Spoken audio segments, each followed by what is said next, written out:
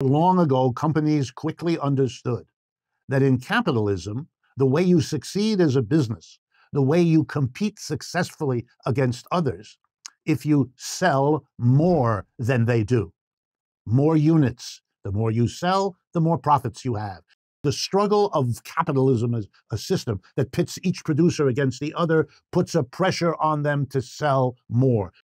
Here's a simple story you make the machine to wear out much sooner than it needs to. So it has to be replaced sooner than it needs to. That may be a waste of resources, but it's profitable.